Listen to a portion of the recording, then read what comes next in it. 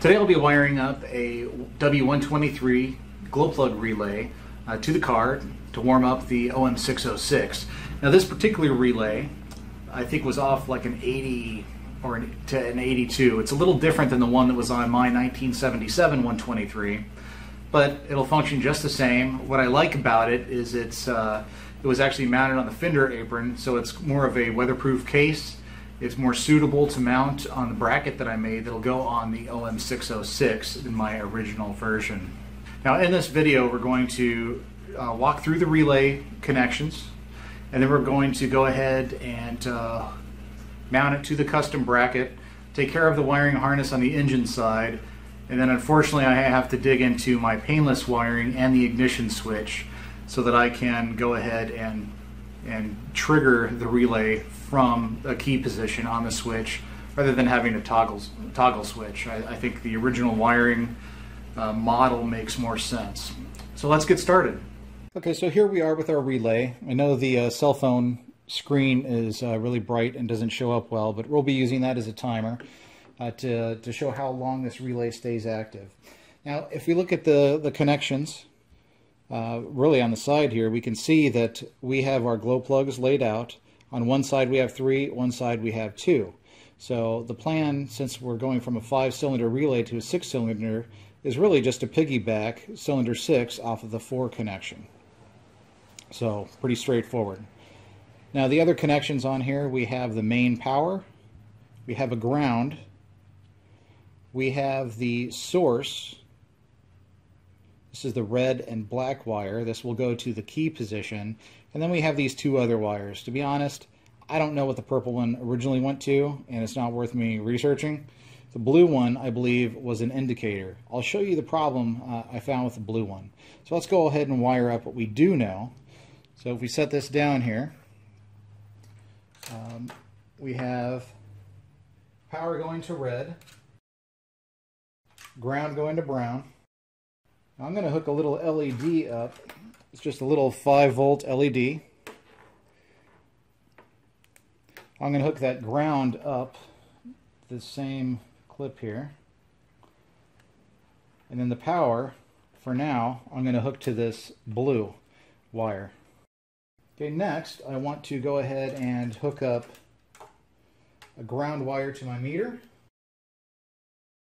And then I'm going to hook up the meter to one of the glow plug outputs. So as I mentioned, the red wire, which is right here, is really the key position. So I'm going to go ahead and click this over uh, to positive, and we will watch the meter. And I'm also going to start the timer about the same time. So watch the LED It already clicked off. You can see the meter. We're at almost uh, 12, well, we are at 12 and a half volts. Okay, so the relay just clicked off. It was about 30 seconds, again, starting both the same time, exact time, uh, just didn't happen. So um, we dropped our voltage, we're down into millivolts now, so it's really not even registering. So what I'm going to do is actually wire my dash indicator in with one of the glow plugs. Uh, these really don't have much of a draw at all. It's, it's not significant, but it'll be more accurate. I'm going to go ahead and piggy, uh, piggyback 6 off of glow plug 4. I'm going to hook my lighting up to uh, glow plug 1. Other than that, it's just my ground wire, my key wire, and my battery wire. Okay, so here we have the old harness, and you can see the wrap is starting to come off, um, and it's really just kind of kind of messy. Also, it's getting uh, cluttered, and there's a lot of opportunity for binding things up with the throttle linkage here. So I'm actually going to pull this off. I'm going to clean it up. I'm going to try to leave the original wrap where I can at the end points, but I want to have it all come across and down and tuck behind here, and I want to fasten the loom to the, uh, the pump support here and come down. Now my bracket, which is right here, it will come up to almost the height of the pump. So what I want to do is have the, the wire loom come down and then have enough of a tail to come back up and plug in. So the reason for that is I want to be able to make it serviceable. If I take off the two bolts that hold the uh, relay on, then I can uh, undo those, pull it out, hold it in my hand, and still have it connected. And uh, there's enough wire here to do that. So let's get started.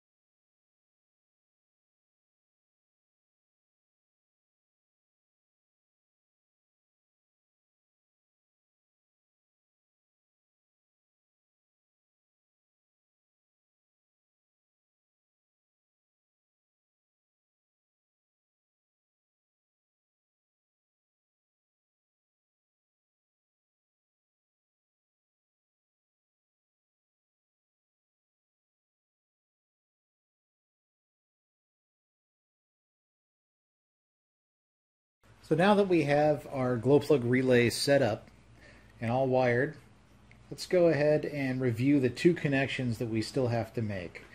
We have our white wire, which is going to go to the first key position, uh, which will trigger the relay. And then we have the blue wire, which is simply connected to the first glow plug and we'll use that as an indicator and here I have it set up uh, to be on the LED. So essentially if we turn the key to the first position now we're going to trigger that relay on and it's going to last about 30 seconds. Okay so after 30 seconds uh, our glow plug relay kicks off. We should be good to go. We can crank the engine and uh, go about our way. So we've walked through the pinout on the relay. You've watched me set up the wire loom mount the bracket, mount the relay to the bracket, and we've also performed a little test here to make sure that it's functioning as we expect it to. What I didn't show was the actual wire getting set up inside the connector on the ignition switch. That's because it takes a fair amount of time and patience to put that in place. And that's not something I plan on doing today. So on the screen you will see uh, the pinout for the connector. And all that I need to do is to hook up the white wire to the correct pin, and then that first switch position will trigger the glow plug relay. So if there's something you guys would like to see, please message me. I prefer to get private messages on Facebook. I really don't uh, read my uh, Gmail at all. So if you try to email me through my YouTube channel, I don't usually check that. I just really select all and delete my messages most of the time use the Facebook Messenger associated with the page, and uh, feel free to contact me if I can help you in some way. So thanks for watching.